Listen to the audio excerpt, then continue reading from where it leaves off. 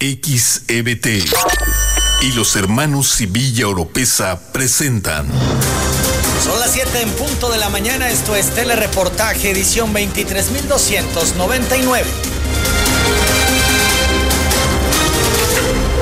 La Fiscalía de la República va por Peña Nieto. Abre carpeta de investigación en su contra. Ante la investigación, Peña Nieto asegura que su patrimonio es legal. Todos los días hay reportes de movimientos financieros de políticos, reconoce Pablo Gómez y niega que la UIF tenga denuncias contra Calderón. La Corte resuelve que la UIF publique acuerdos sobre desbloqueo de cuentas. Alito envía carta a Michelle Bachelet para denunciar ataque permanente del gobierno de AMLO. Exgobernadores del PRI exigen renuncia de Alito. No son las formas. El PRD ve persecución política en caso de Alito. Adán Augusto López presunta presenta denuncia ante la FEDE y el INE por propaganda indebida. Determina Tribunal Electoral que Marcelo Ebrard no realizó actos anticipados de campaña. Ricardo Monreal lanzará rap sobre su trayectoria política en el que afirma que él sí es de izquierda. Emite Morena convocatoria para candidato a gobernador del Estado de México. Madres de familia se lían a golpes afuera de una primaria en Comalcalco. Comando amarra y asalta a abuelitos en Macuspana, les quitan más de 50 mil pesos. Airla desapareció hace un mes en Cárdenas. Da impotencia salir a buscarla y no encontrarla para llevarla a casa, dice su madre. Joven en Los Cabos busca a su familia, se extravió cuando tenía tres años, ahora tiene 26. Hayan a hermanos secuestrados por el chueco previo al homicidio de sacerdotes jesuitas en Chihuahua. Uno de ellos fue encontrado sin vida. Esclarece Fiscalía de Chiapas homicidio de empresario italiano. Detienen a ex esposa como autora intelectual. Hombre lanza un ladrillo a dos mujeres que se besaban en Coyoacán. Denuncian que Iglesia en Tamulté de las Sabanas envenena gatos de la zona. Potabilizadora Majagua suspenderá operaciones este viernes. Del 1 al 15 de agosto, abuelitos se podrán registrar para pensión del bienestar. Se acerca México a los 200 mil casos activos de COVID-19. Nuevo León regresa a semáforo epidemiológico amarillo por alza de contagios. Pese a los casos COVID, el Festival del Queso sigue firme, señala Turismo. Congela y set 300 pensiones con presuntas irregularidades. El IMSS le ofrece 88 mil pesos, ventila la mujer a la que por error le amputaron las piernas. Gaudiano insiste en renuncia de García Malitz de la SEDEG, afirma que el funcionario miente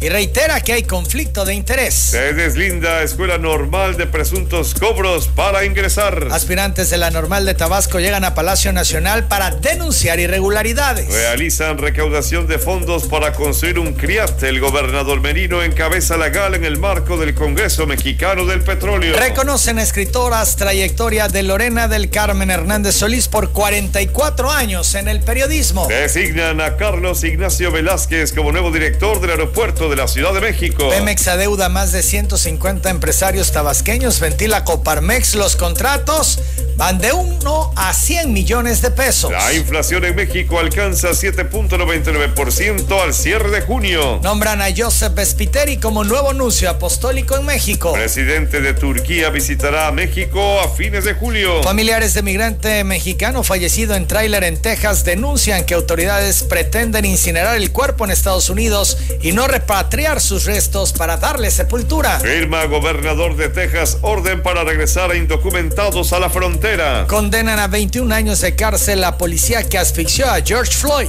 Muere Shinzo Abe, ex primer ministro, ex primer ministro de Japón, baleado durante un discurso. Dos personas dieron positivo al virus de Marburgo, similar al ébola, reporta la OMS. Muere la panda gigante más longeva de México. Moisés Suárez Aldana cumplirá 54 años de carrera siendo referente de la televisión mexicana. Platicó con telereportaje. Muere James Caan, actor del Padrino. 7 de la mañana, 4 minutos en los deportes. Los Olmecas de Tabasco se llevan la serie frente a Generales, les ganan el tercero 5 carreras a una. Murió Mike Brito, cazatalentos de los Dodgers, que descubrió a Fernando Valenzuela. Estados Unidos, Japón y Taiwán serán sedes del Clásico Mundial de Béisbol 2023.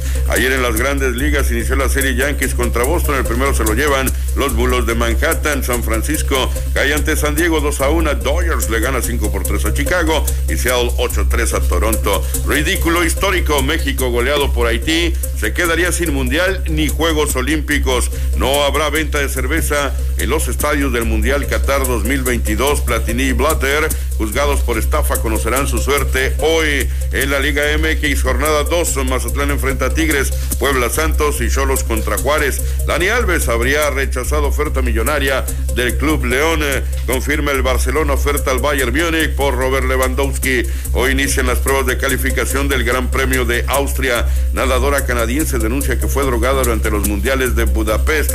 Rafael Nadal se retira de Wimbledon por un desgarre abdominal. Yelena Rivaquina y Ons Gilbert pasan a la final femenil de Wimbledon. La derrota frente a Nadal es la peor de mi carrera, reconoce Taylor Fritz.